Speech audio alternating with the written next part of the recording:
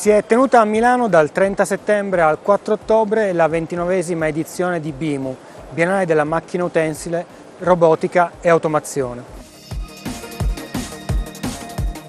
Alla fiera, organizzata da UCIMU e CIS, hanno preso parte oltre mille aziende, di cui la metà straniere.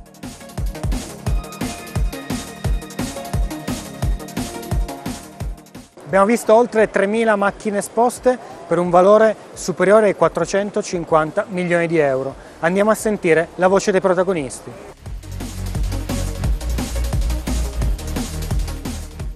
Noi siamo la filiale italiana della Kawasaki per quello che riguarda i robot industriali e diciamo nel 2014 finalmente i robot stanno cominciando a diventare più intelligenti in questo caso vedete che il robot ha due occhietti come le persone umane, non più uno come fino a qualche anno fa. Cosa vuol dire? Che vede in tridimensionale, riesce a vedere anche la terza dimensione, così come facciamo noi.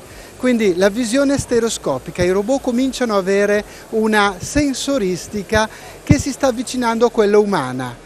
Questo vuol dire flessibilità nelle operazioni, riuscire a prelevare un pezzo, sentire la forza. È quindi una rivoluzione nell'uso industriale della robotica, una rivoluzione anche perché i costi produttivi di questi dispositivi si sono drasticamente abbassati negli ultimi anni. Kawasaki, come noto, è fornitore di Toyota, uno dei primi produttori al mondo di robot industriali e questi robot si stanno via via diffondendo e sempre di più si diffonderanno in settori applicativi.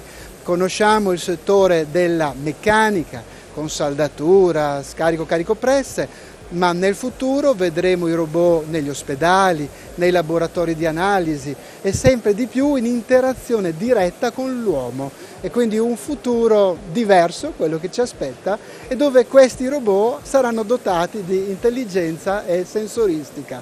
Può sembrare fantascienza, ma ci siamo già.